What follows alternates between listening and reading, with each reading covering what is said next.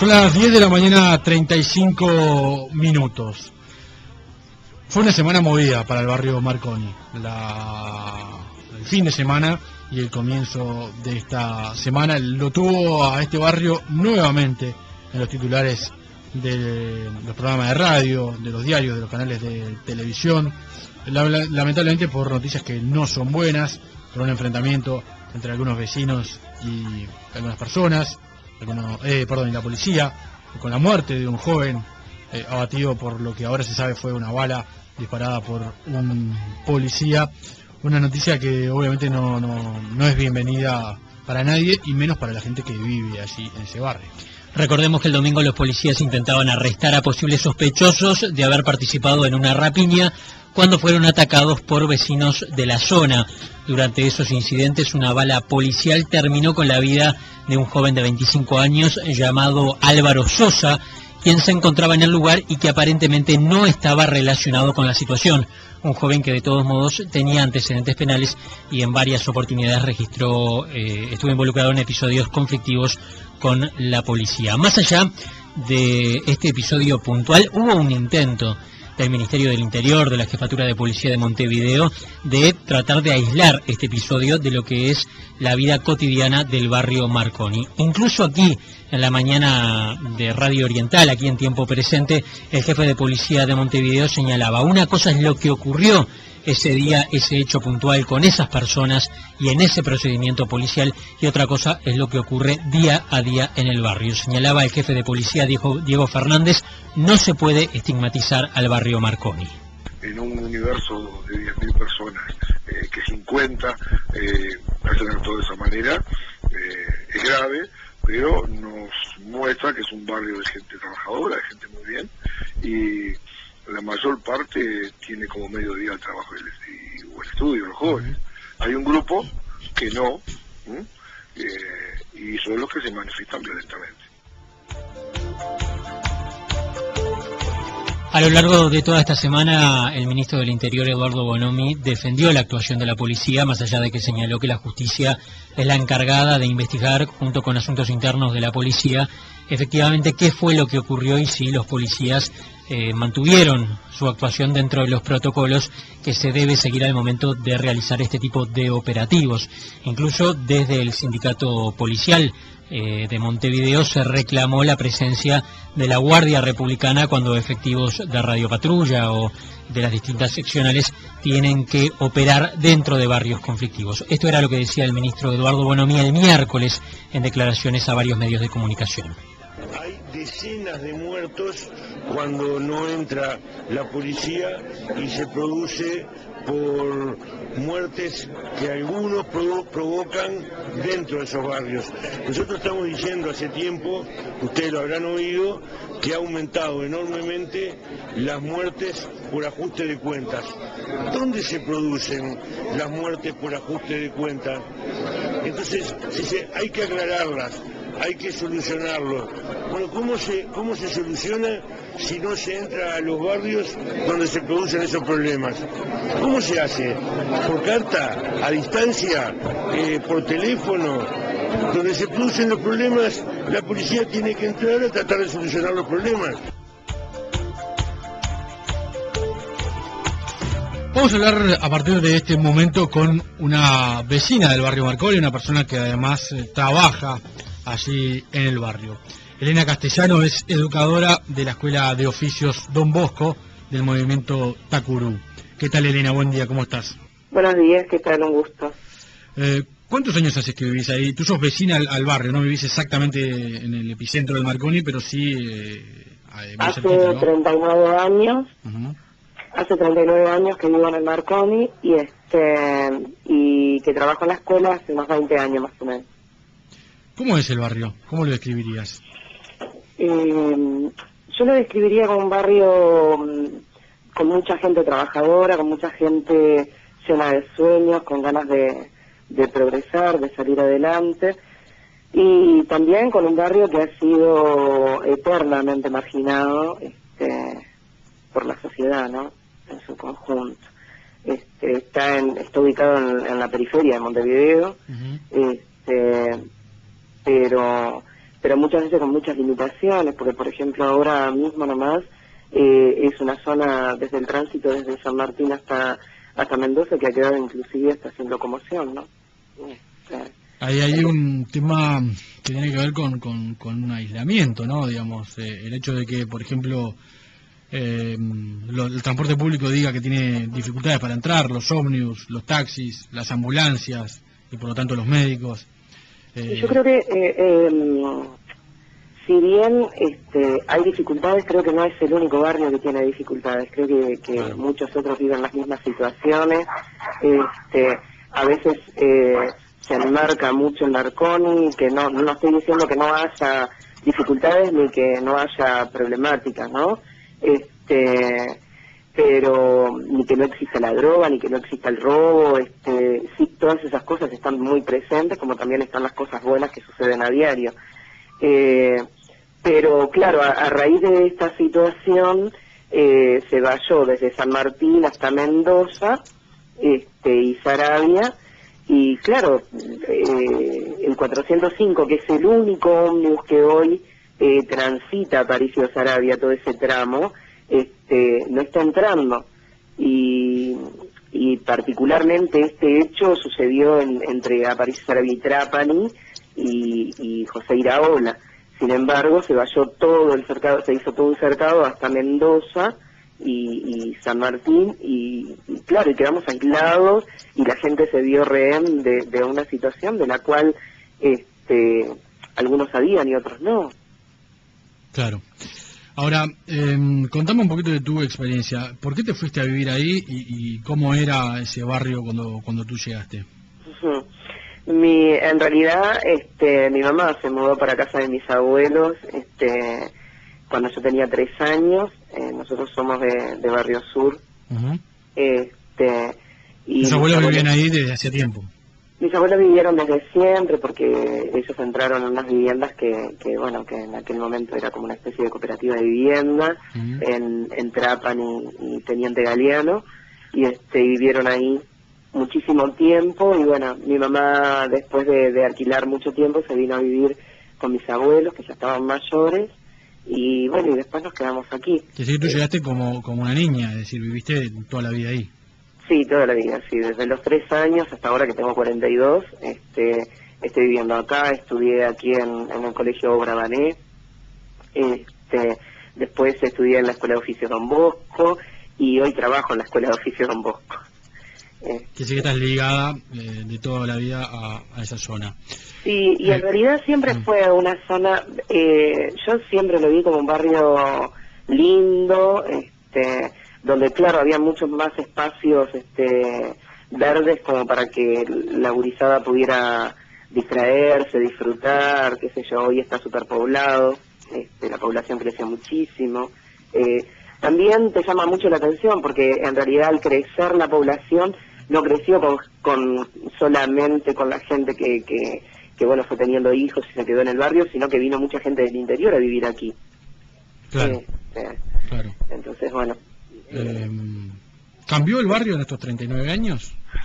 Mucho, mucho, mucho. Este, cambió muchísimo, ya te digo, geográficamente cambió mucho. Este, y también las costumbres. Y bueno, eh, eh, es una, una generación distinta que está viviendo otras cosas, que disfruta de otras cosas, que, que, que se interesa por otras cosas. Este, creo que, que todos los de mi generación nos criamos entre la rayuela, la payana y, este, y el chavo del ocho.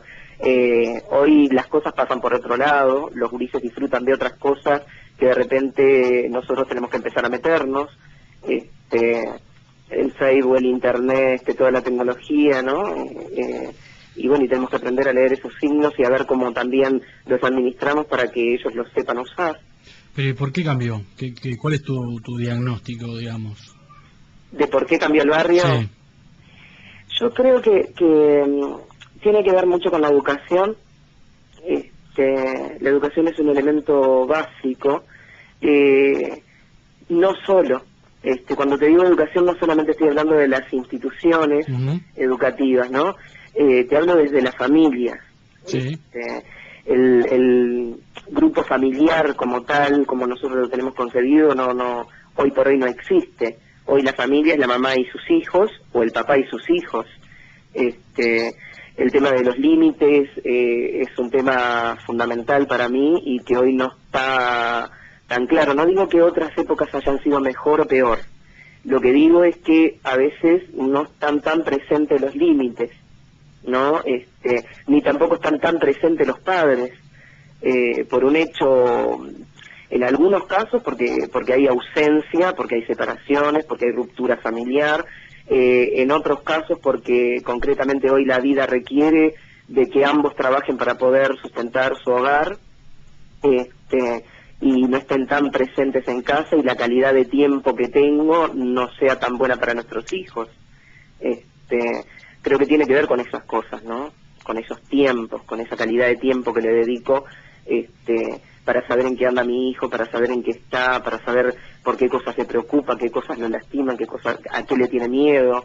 Este, creo que pasa un poco por ahí. Em, ¿Te quisiste ir del Marconi en algún momento? Nunca, ¿sabes? Este, en realidad, eh, lo que pasa es que acá me llaman Marconi a todos. Sí, claro, en realidad este, y, y, concretamente yo no estoy en Marconi, este, yo vivo más hacia hoy, hoy, este, vivo más en, en una cooperativa, este, y que está en el barrio también, que está en la zona, este, más hacia San Martín y Sarabia, este, y, y en realidad nunca, nunca quise irme, ¿sabes? Este, siempre soñé con que, con que mm, eh, nuestro barrio se podía ver como gente que realmente la luche, que así debería de ser, porque en, en realidad estas situaciones son situaciones aisladas, este, que se dan en un determinado tiempo, bajo una situación concreta, este, y con, con un grupo de gente reducido. este, entonces, eh, el resto de la gente, ya te digo, es gente que, que la lucha día a día, que, que, que la quiere pelear, y yo estoy entre ellos. Este, entre la gente que quiere luchar, la que quiere tener su casa, que vive de su sueldo, que, que se preocupa por, por, por, su familia, que además le preocupan los otros, porque también el vecino a veces ocupa un lugar importante en la vida de uno y muy presente, a veces está más tiempo presente que nuestra propia familia. este, eh, entonces, no, nunca quise irme. Lo que sí, si me, como lo dije hace muy poquito en una entrevista que me hicieron también, eh, si me preguntás hoy en esta situación concreta, claro que no, no, no, me planteo el si, si tengo ganas de seguir acá. Claro. Eh, hace unos días el periodista Gabriel Pereira del diario El Observador, que vivió también y se crió bastante cerca del Marconi, escribió una nota titulada Marconi, 40 años entre la mierda. Hace, hace casi 40 años solía jugar al fútbol en las calles aledañas al Marconi. Hace 40 años que los pibes del Marconi pasaban por ahí descalzos, a veces en harapos, tirando ellos de carros cargados de todo porque ni caballos tenían. Hace 40 años jugábamos al fútbol en las canchas del Marconi y sería imposible olvidar el olor a orín y a excremento que había en los pasadizos repletos de ranchos, de perros y de pibes revisando la basura. Hace 40 años que pasan cosas horribles en el Marconi. Lo de esta semana fue una más, horrible, pero una más al fin. Aquellos pibes que hace 40 años pasaban tirando carros nunca salieron de ahí, ni ellos, ni sus hijos, ni los hijos de los hijos. Dice al comienzo de esta, de esta columna, digamos. Eh, Gabriel Pereira. Eh, ¿Coincidís con, con, esa visión? Digamos, siempre hubo ahí una zona que hoy se ha extendido mucho, pero hay una especie de triángulo allí que, históricamente se le llamó Barrio Marconi, que siempre fue un barrio complicado y, sobre todo muy pobre. Sí, que tiene que ver mucho con políticas sociales, que tiene que ver, otra vez volvemos a la educación, este, que, tiene que ver con que no alcanza con darle la casa a alguien, sino que enseñarle para qué es esa casa y por qué es importante que sea mía y que y, y, y que y, realmente que yo sea parte de esa construcción, no que me ayuda de arriba. Este, eh, siempre existieron ranchos, eso es verdad. Este, pero también recuerdo, o sea, si, si yo me reduzco solo a esa versión, eh, es como muy simplista para mí, ¿no? Y, y muy negativa, veo solo la parte negativa del barrio. este, no estoy viendo la otra parte, la otra cara de la moneda. ¿Cuál es la otra parte? Este, eh, justamente esta que te decía, hay madres que salen a luchar todos los días, que salen a trabajar a Posito, a Carrasco, a Malvin, este, y son madres de, de estos barrios. muchas de las empleadas domésticas de, de, de, de otras zonas son, son madres de acá, del Marconi. Claro.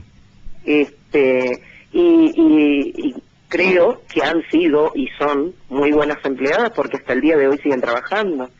Este, entonces, eh, es, eh, es cierto que, que, que porque por falta de saneamiento, por, por un montón de cosas, por los rancheríos, por... Sí, claro que sí, que eso, eso existe, que muchos se han instalado en el barrio y los hijos de sus hijos y demás, eh, es cierto también, pero es reducirlo a una mínima población o quizás a, a, a, mirar solo esa parte cuando en realidad también hay toda otra parte este, que, que ha crecido y ha crecido mucho. Claro. Este, en realidad, eh, si vos venís hoy a Sarabia, los ranchos que, que habían en, este, contra el Miguelete, por Aparicio Sarabia, hoy no están este, entre la Escuela de Oficios y Vanes, ¿no? Eh, a ellos se les dio una vivienda. Habrá gente, por eso te digo, habrá gente a la que se le dio la vivienda y la terminó vendiendo para venirse a vivir a un rancho, Claro. este, porque no se acostumbró, porque no se le, no, porque no supo, este, eh, el valor que tenía, eh, el significado que tenía esa casa en, en su momento.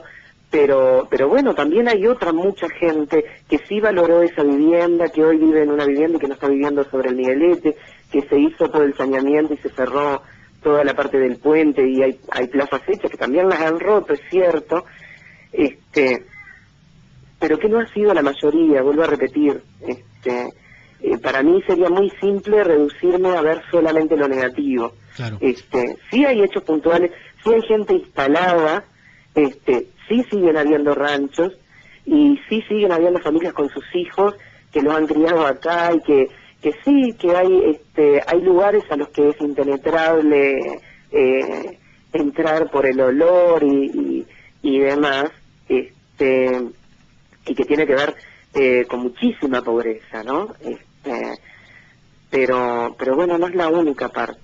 Elena, No. mm, ¿quiénes están trabajando en el Marconi? Eh, Don Bosco, obviamente tú trabajas allí, eh, Don Bosco tiene una, el movimiento Tacuarú tiene una, escuela de oficios, pero ¿quién, ¿quiénes más eh, están Eh, trabajando en gracias a Dios zona? es una zona Unidad Casaballe como como como este la red Unidad Casaballe Claro. este es una zona que tiene muchísimas instituciones instaladas desde hace muchísimos años muy queridas y muy respetadas todas Eh, entre ellas está Obra Bané que es un colegio privado este con una muy fuerte presencia social eh, trabajado por las laicas consagradas hijas de la Natividad de María. Está eh, el CAIF Santa María este, también con las monjitas así que están trabajando hace muchísimos años en Enrique Castro y Sarabia. Eh, después está Casa Luna, Ana Patricia Sarabia y General Flores. Eh, tenés San Vicente, Obra Padre Cacho, Sí. este, que también hace muchísimos años que está instalado en el barrio. Eh, bueno, está la Escuela de Oficios Don Bosco, eh, está, mm, como es, Los Pinos, Colpin, este, Nueva Vida, eh, los curas dionianos de, de la Gruta de Lourdes, que también están trabajando aquí instalados en el Borro, en el Colegio Santa Bernardita, está la, la Escuela Ecuménica, este, en Bertani y la otra no me acuerdo, pero sé que está por Bertani y San Martín, por esa zona de ahí. Eh, hay muchísimas, muchísimas organizaciones, está el CEDEL que está trabajando en red este, también con, con la Escuela de Oficios y con, con las otras organizaciones barriales que hay aquí. Eh, son muchas, muchas, Me- seguramente me olvido de alguna, Claro. pero... ¿El Estado esta está, el vida. Estado está presente?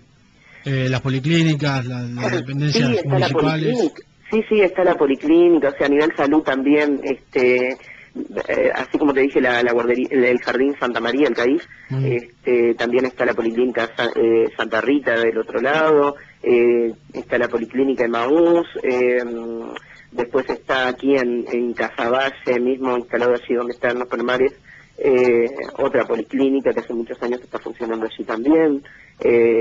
Hay escuelas públicas, liceos que, que gracias a Dios también están presentes y algunos que están terminando de edificarse para ponerse en funcionamiento, el liceo jubilar.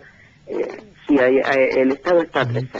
Ahora, eh, con esta descripción que tú estás haciendo, uno puede pensar, bueno, no, es un rincón olvidado del país. Es un lugar alejado del centro, sí, alejado de 18 de julio, quizás, Sí. pero no tan lejos tampoco. Uno se toma un ómnibus por General Flores y en 20 minutos, 25 minutos está ahí. Sí, sí. Eh, y, mm, y con una presencia de muchísimas instituciones. Tú debes haber nombrado más de 20 y, y dijiste que seguramente te falta alguna. Sí. Entonces, ¿qué es lo que le falta a esa zona? Eh, yo creo que, que todos nos hacemos la misma pregunta. Eh, yo creo que esta presencia policial que, que, que hubo ahora este, fue una presencia fuerte. No sé si es la mejor forma, creo que ellos tampoco saben si esta es la mejor forma. Creo que, que se van eh, haciendo intentos de, de garantizarle a la ciudadanía seguridad. Eh, a mi parecer, creo que estos operativos así, eh, tan fuertes, a veces eh, provocan más rebeldía de la que quisiéramos. ¿no? Sí creo que tienen que estar presentes, pero en el patrullaje día a día, y esto no se da siempre. Este, a veces sí tenemos la, la, la, la sensación de que la seguridad, a la seguridad le falta este, mucho, mucho camino por andar. Este, y, y los que vivimos aquí, a veces sentimos que no tenemos tan garantizada el tema de la seguridad barrial y demás, ¿no? Este, el, el patrullaje no se da siempre, es una vez cada tanto.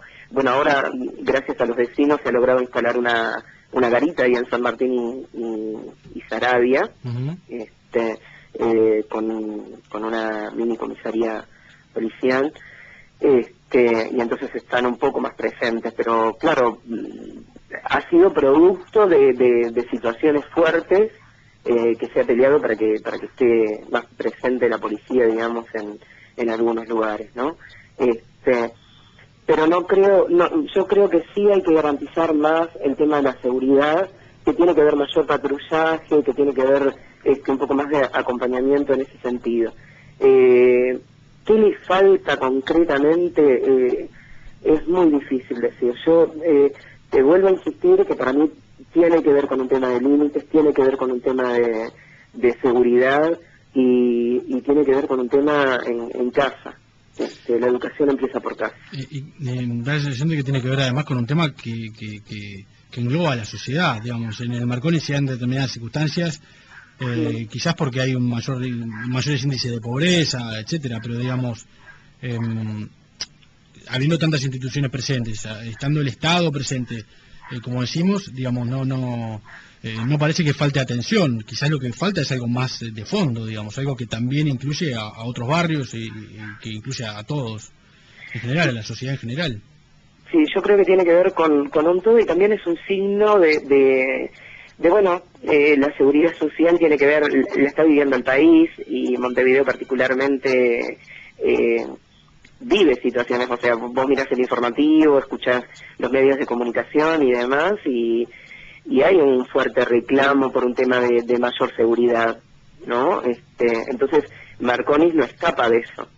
Este, eh, y después creo que sí faltan propuestas, faltan espacios para jóvenes este, con propuestas atractivas. O sea, no creo que, que estos son espacios educativos, ¿no? Sí, Pero por el espacio educativo pasan cuánto tiempo, claro. este, cuántas horas. Y el resto del tiempo, ¿qué es lo que hacemos? ¿Qué propuestas hay para la gurizada?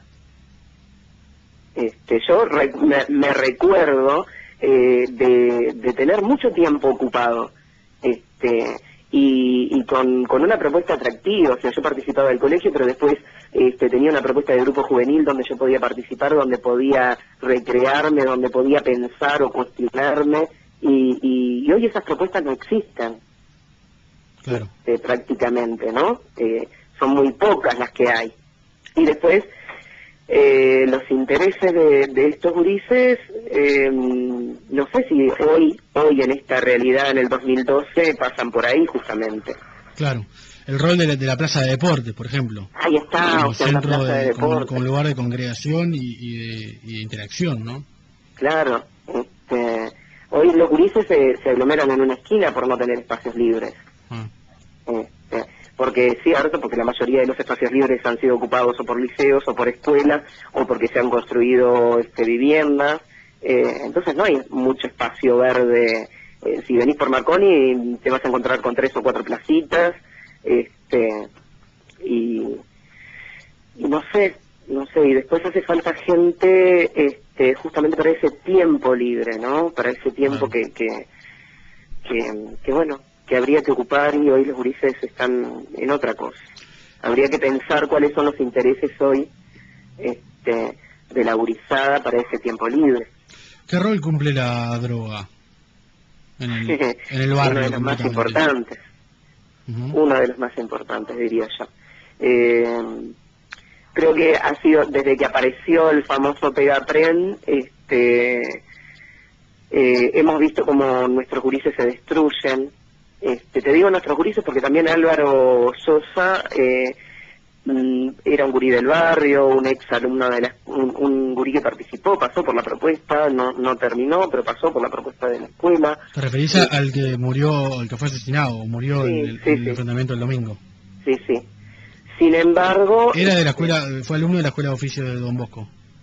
Sí, en algún momento pasó por la propuesta de la escuela. No terminó, ¿no? Este, pero sí. Y como él, otros tantos, ¿no? Este, que, que pasan por las propuestas, pero o no terminan, o siguen y después, bueno, uno, no sé si uno elige drogarse o termina cayendo en la droga por, por las distintas situaciones que, que lo rodean, ¿no? Este, pero sin duda la droga forma un, un, papel importante. ¿En qué barrio no? Este, en mayor o menor grado, este, la droga está presente siempre. Este, desde el desde el pegapren aquel bendito, ¿no? A inhalar la gurizada porque era lo que lo más barato, lo más accesible a llegar a, hoy la pasta base, o sea, y, eso está presente en la mayoría de los barrios. Eh, desde el gobierno eh, se dice, eh, hay un tema pesado. La pasta base ha traído una serie de modalidades que ya, digamos, han excedido lo que era el consumo de drogas habitual. hay un tema de, que se cobran cuentas, hay un tema de asesinatos por encargo hay un tema de barrios que, están dominados por determinados grupos. Eh, ¿Se siente eso así también estando ahí? Yo no sé si es si es tan así. No no no no no no te diría que es tan así, bueno, o sea, en la diaria no no no no lo ves. O sea, yo no te podría decir si hay grupos organizados o no no no hay grupos organizados. Lo que sí este digo que la, la, pasta base a, nivel población, no solo del Marconi, sino de, de, Montevideo, este, ha sido un factor importante en el cambio de conducta de, nuestros gurises, ¿no? Este, y, y, bueno, todo eso lo que hace, supongo que expertos han de saber mejor que, que yo qué es lo que genera este, el consumo de droga a diario. Este, que no es la única droga, y que no es la única situación de violencia, o sea, este, también está la violencia doméstica, eh, o sea, el consumo de alcohol, eh, no es la única droga presente, pero convengamos que sí, la, la, la pasta base ha tenido, ha sido un elemento importante, ya te digo, desde lo que era el pegatrena, el consumo de la pasta base, han habido cambios de conducta eh, importantes en los gurises y, y y un cambio en ellos, en su aspecto físico, en, en, todo su entorno, ¿no? Este, eh, es un factor importante.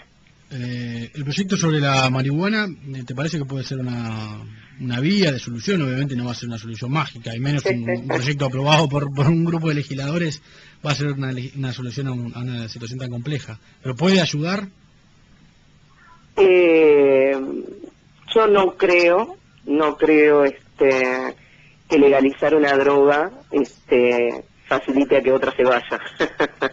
eh, creo que eh, se legaliza, bueno, quienes la consumen este eh, bueno, podrán hacerlo con mayor libertad y de alguna forma medidamente, eh, pero no creo que sea la solución al problema, el problema es mucho más de fondo.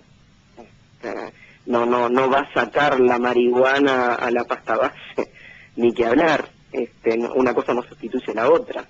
Eh, y habrá que ver en el bolsillo este cuánto es lo que me saca también. O sea, yo puedo acceder fácilmente a la droga y no, no a la marihuana. No, este, a la marihuana. Eh, podré plantar en mi casa o no. Este, No sé, hay, hay un montón de cosas que plantearse así que, que no me parece que sea la solución al problema. Está bien, se legaliza, habrá gente que la pueda consumir con, con mayor libertad sin sin preocuparse este, de que le vayan a llenar la casa y, demás, y de alguna forma medida y controlado, este, pero no es la solución, no creo para nada, de ninguna manera que sea la solución al problema. Em, ¿Cómo están los días después de lo del domingo en el barrio? Lo han dicho ustedes muchas veces, este, hay una tensa calma. Este, hay una tensa calma, ¿no? Sí, yo creo que ha sido un golpe fuerte la muerte de, Álvaro, ha sido un impacto fuerte a nivel de barrio eh, todo el tema del, operativo, este, el patrullaje que hasta el día de hoy se sigue dando. Eh, creo que ha sido un impacto fuerte y, bueno, eso. Hay una calma. Es que hay mucha gente, incluso acaba de llegar algún mensaje aquí de oyentes que dicen eh, bueno, este muchacho era un delincuente, tenía muchos antecedentes, este, en definitiva, eh, bueno, en definitiva eh, se las buscó o, estaba en el límite. Ahora, me interesa qué, piensan, qué piensan los vecinos, qué piensa la gente que vive ahí. porque en definitiva estamos hablando de la vida de una persona. Desde, desde otros lugares de la sociedad se dice, bueno, en definitiva entró la policía, este muchacho con todos los antecedentes que tenía, por poco que se merecía el balazo. Eh, sí, ahí hay un el tema, es cómo impacta eso en, el barrio, ¿no? Eh, claro.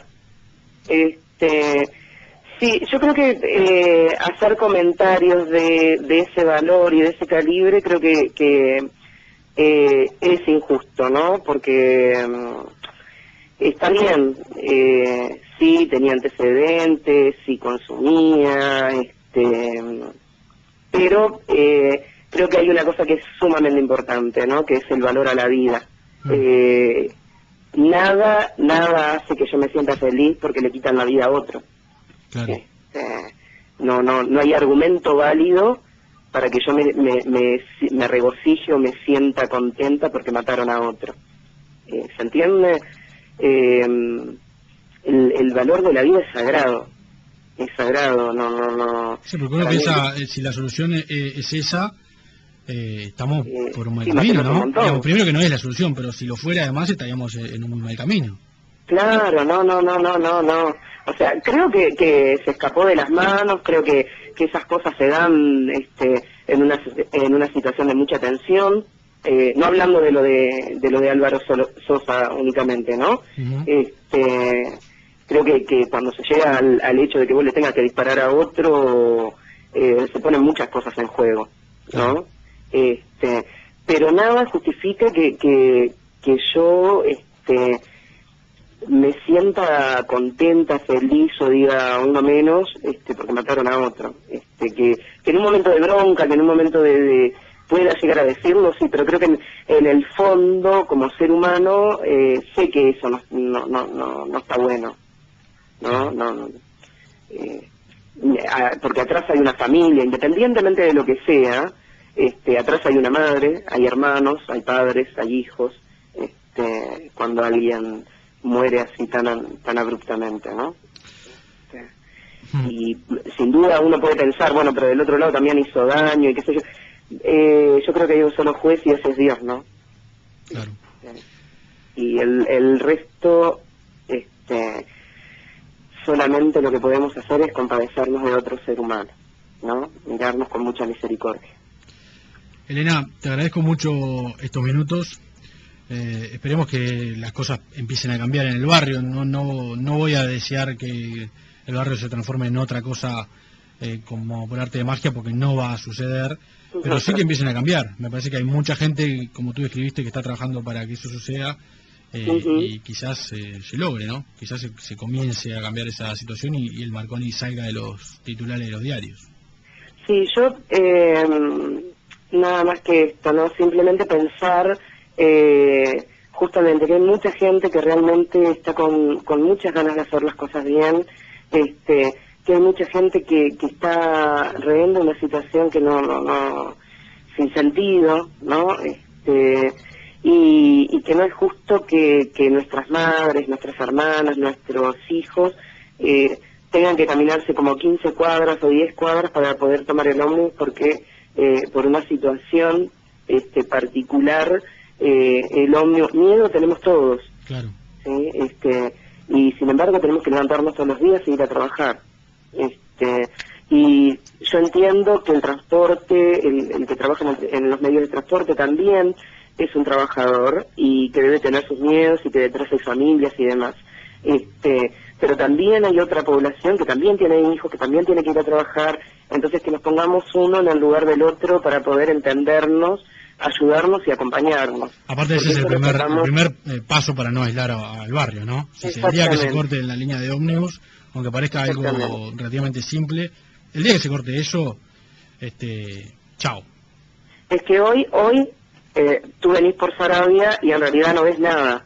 Este, la gente se tiene que trasladar como loca de un lugar a otro porque no, no, no, no hay un medio de transporte que lo traslada a su trabajo. Claro. ¿Entendés? Entonces, eh, teníamos dos líneas de ómnibus, una ya no está. Bueno, si perdemos la única que tenemos, por favor. Sí. Ahí sí, eso sí es eh, transformar a un barrio en un gueto, Exactamente. aislado del resto de la sociedad, ¿no? Exactamente. Entonces, eso, nada más que para que lo reflexionemos todos y bueno, y tratemos de, de buscar la, la mejor solución para todos. Te agradezco mucho estos minutos, ¿eh? Muchísimas gracias a ustedes. ¿eh? Muchas gracias. Elena Castellano es educadora de la Escuela de Oficios Don Bosco del movimiento Tacurú, eh, allí en el barrio Marconi.